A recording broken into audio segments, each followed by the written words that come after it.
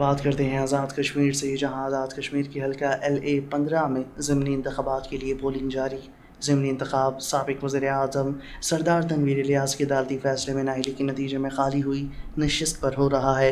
Reports के मुताबिक, हल्के में अठारह उम्मीदवार इंतब में हिस्सा ले रहे हैं। तहरीक इंसाफ के कर्नल ज़मीर, पीपल्स पार्टी के ज़ियाउल कमर और मुस्लिम लीग के मुश्ताक मिनहास के मबैन सख्त मुकाबला मुतव है।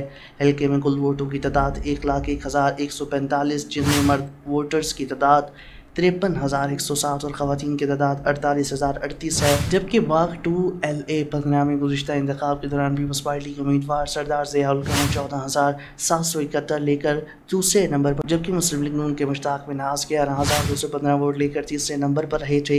इस हल्के में सरदार तनवीर अलियास बीस हज़ार दस वोट लेकर कामयाब हुए।